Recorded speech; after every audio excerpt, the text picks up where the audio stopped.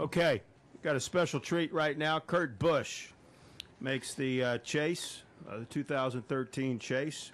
He'll be going for his second NASCAR Sprint Cup Series championship. And Kurt, uh, before the seeding, uh, would have been in seventh uh, position, and uh, excuse me, eighth position. And then after the seeding, he goes to tenth. But Kurt, congratulations! Quite an accomplishment. He's joined by Joe Garone and owner Barney Visser. Single car race team. Uh, terrific accomplishment, and uh, I think um I think it's just just a it's a cool deal. And Kurt, I just want to ask you your thoughts about making the chase. Well, how about them apples? Unbelievable. The way that uh, this this team has grown and what we've been able to accomplish. It's uh, it's an amazing feeling, and we achieved something very special tonight. And Barney Visser and his dream of a NASCAR Sprint Cup team and to be a competitive team, he deserves all the credit.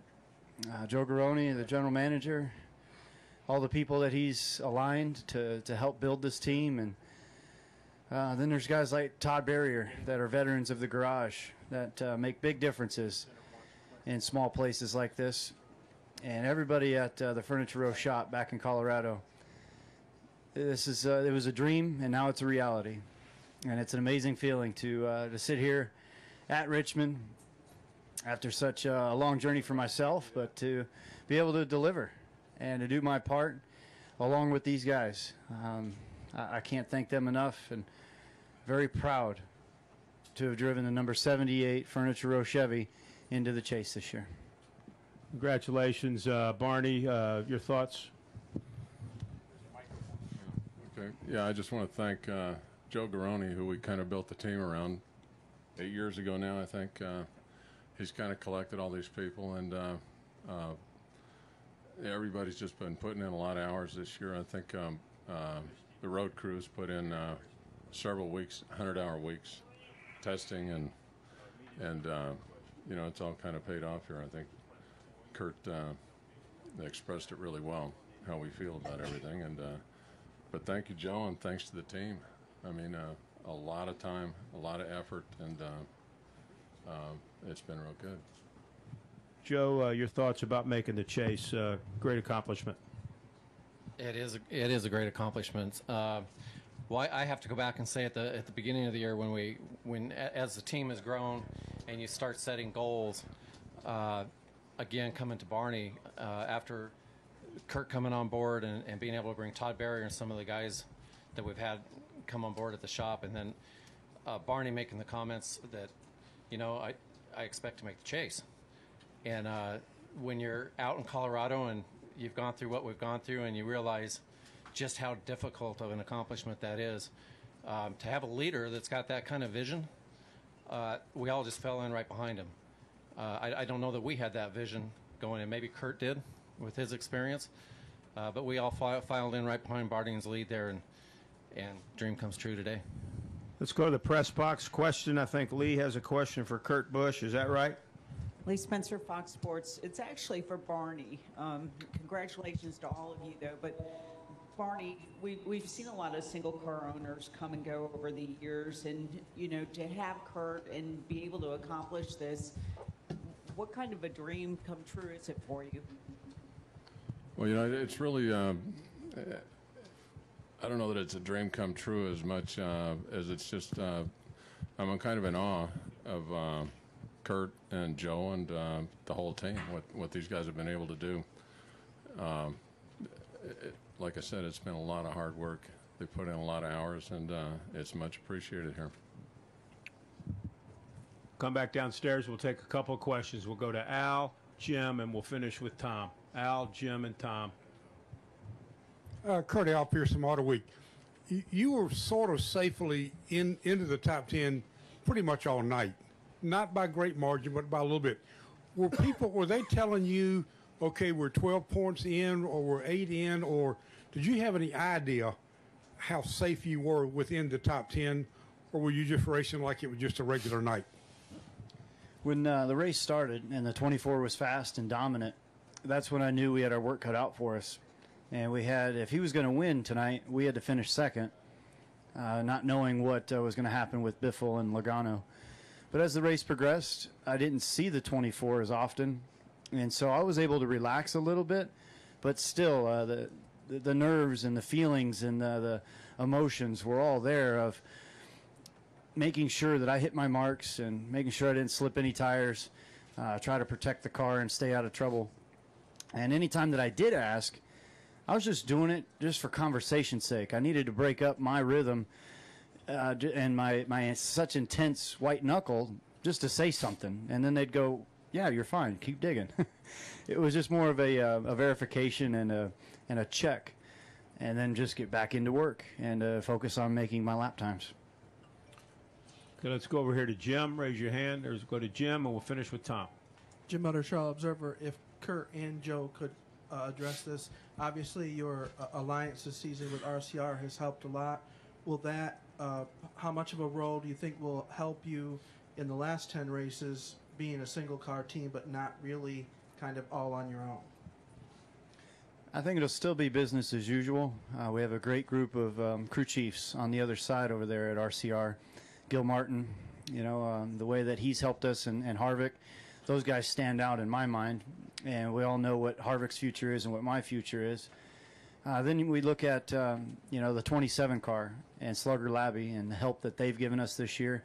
I would say that that should continue. And, and then you got Luke Lambert in that 31 car they're, they've always been helpful, and we would say, I would say that it's going to be business as usual, and uh, we'll expect to, to be there to do our part to help the 29. Right now, it's the 29 and the 78 coming out of the, that situation, but overall, very happy for, for our guys and, and everybody that works in Colorado. It's an amazing group of guys that uh, they're they're at the race shop at 5 a.m. every day, and the way that our logistical nightmare, not nightmare, our logistical situation is uh, you have to stay ahead of the game.